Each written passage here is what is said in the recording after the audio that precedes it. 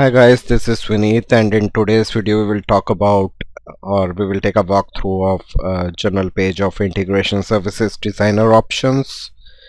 Before we proceed ahead, I would request you guys to please subscribe to my channel if you are new to this channel. Uh, there's a subscribe button below this video. Click on that subscribe button. It will give you a bell icon. Click on that bell icon, select all notifications to get notifications regarding all my future videos.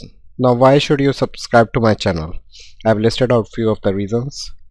Subscribe because you need to excel in your career and achieve job with high salary package. Subscribe because you are getting best SQL content on this channel with in-depth discussion of concepts. Subscribe because we are providing in-depth training on SQL Server and not just providing surface level knowledge. Subscribe because you need to master SQL Server. Subscribe because you do not have time to go through books and want to watch videos and implement the SQL Server practicals in your test environments. So these are some of the reasons. If you have any other reasons to subscribe do mention those to us over the comments on this video. Let me discuss some of the motivational tips to gain mastery in SQL Server.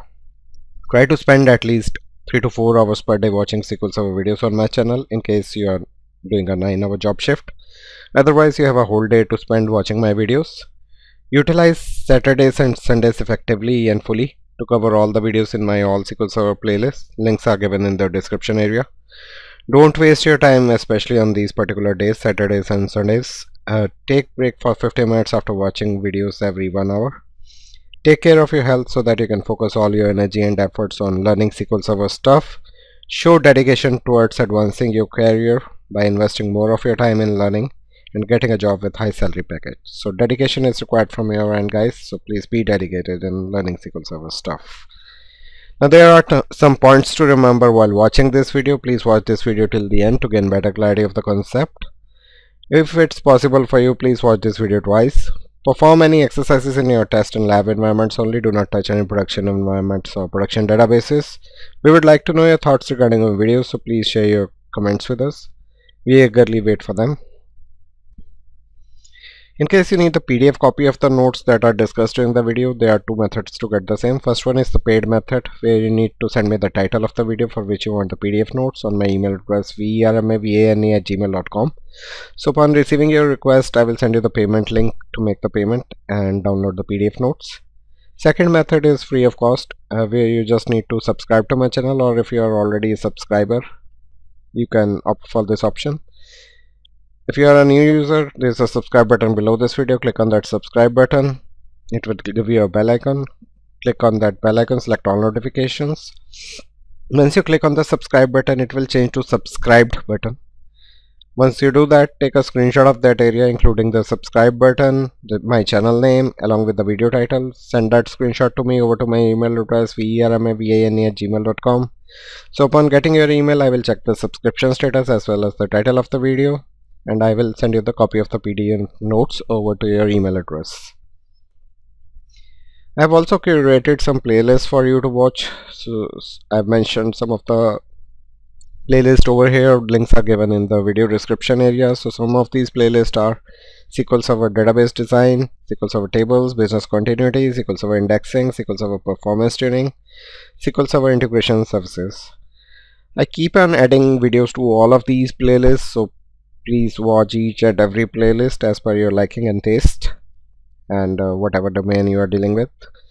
Apart from that I have a channel page which is at youtube.com slash at the red SQL talks by Vineet. You can uh, visit my channel page. A link is also included in the description area of this video. So once you visit my channel page you will see a subscribe button there as well. From there as well you can subscribe to my channel as well.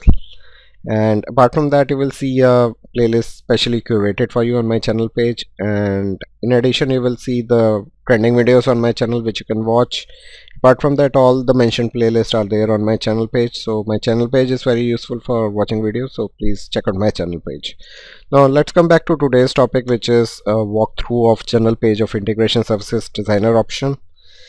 Let me take you through notes. So let's cover this topic. So we are talking about the general page of integration services designer and uh, what all options are available there we will discuss on that. Use the general page of integration services designer page in the options dialog box to specify the options for loading displaying and upgrading packages. So what is this page used for? It is used to specify the options for loading a package displaying a package and upgrading a package. Now how, how to open this general page uh, in the SQL Server data tools on the tools menu click options expand business intelligent designer and select the integration services designer. So let me show you how you can do this. So you need to go to tools menu and you need to select options from here. So here we are inside a SQL Server integrations project. If you don't know how to create and open an integrate integration services project you can watch out my earlier videos on integration services uh, there's a playlist on integration services and you can find the link in the video description area. So check all those videos out from start till here. Uh, we have around like seven eight videos uh, created so far so you need to watch all of them. So here we are inside the SQL Server data tools. We have opened one of the integration services project over here. And uh, in order to open the integration services designer page options you need to go to tools options and you need to go to this area on the left hand side. So on the left hand side you will find the business intelligence designers. You need to expand that. Under that you will find the integration services designer. Under that you have a general page. So this general page has some options listed on the right hand side.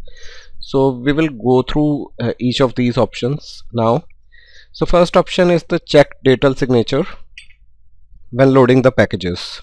So this is currently checked. Check data signature when loading the package so basically we select this option to have integration services check the digital signature uh, while loading the package and integration services will only check whether the digital signature is present is valid and is from a trusted source. Integration services will not check whether the package has been changed since the package was signed.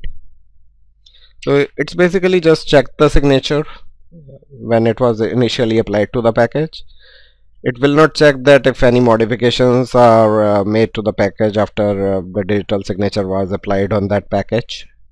It just check whether the package is signed and whether it's from the trusted source. Only thing uh, it do is this. Now uh, let's see what other options are. Uh, there's a registry value block signature states. Uh, if we set this value the registry value overrides the check digital signature when loading a package option. We will talk about this later setting this registry option. Uh, so if this uh, we set this registry option which is blocked signature uh, state uh, this will override this option over here which is check digital signatures when uh, loading a package this option so we will talk about that later how you can set that registry option for now we are just ignoring it. Now the second option here under the digital signature is show warning if package is unsigned. So if we check this option it will basically throw us a warning when a loaded package is not signed. We don't want that right now. Now the third option is under the accessibility section so show precedent or show precedence constraint labels. So if we select this option it will show us uh, which label success failure or completion to display on precedent constraints while viewing the packages in SQL Server data tools. Now what is a precedent constraint? Uh, right now none of the projects are loaded. Let me quickly go ahead and uh, open up an integration services project here. For example let's us open a demo project maybe or maybe uh, let's open a demo project so it's opening up right now. It's loading up. So let's open up a DTSX package over here. So it does not have anything as of uh, now. Let me see if, if, we can open any other package. Let me close into uh, the Visual Studio altogether and we'll open up another project. So I don't exactly remember the name of the project so that's why I'm loading Visual Studio 2022 app again so once this app loads we will load uh, one of the integration services packages uh, available here. So we we have this integration services project UI let's select that and see what all option does it give to us. It will it should show us some controls over here which we had added to the control flow tab. So it's currently preparing up the solution so in that solution we will show you uh, the precedent uh, constraint if uh, they are not available uh, we will add uh, some items to the project. So let's wait for the solution to load quickly. So it has loaded uh, solution on the right hand. So if you take a look at this green line there are three items added all three tasks added to this control flow task. And if you look at this green arrow this is a precedence constraint now let's go to tools options and let's go to the business intelligent designer integration services and general page so we select this option show precedent constraint labels what it does is it will label success failure or completion to display on precedent constraint when viewing the package in SQL Server diagram. So now let's check that. So it is showing success uh, uh, success path basically. So whenever a success is made on this task, this next task will execute. Uh, similarly, it will show us any failure paths as well. So right now it is the failure paths are not defined.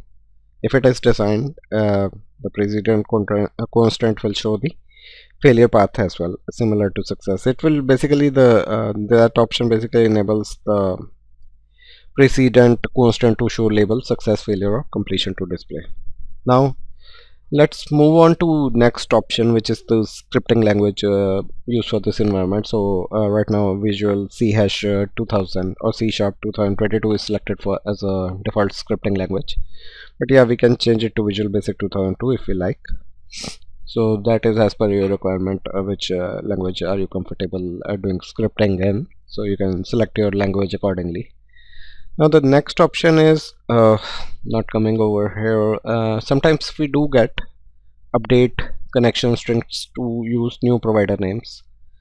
So that option is not coming over here. Uh,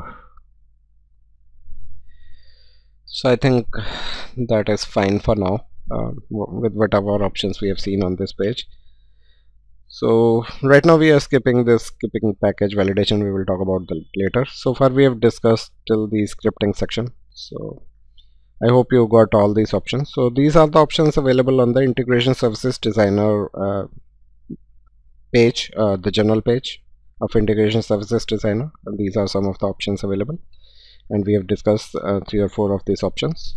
So i hope you like this video guys. Uh, in case you like this video please uh, go ahead and click on the like button.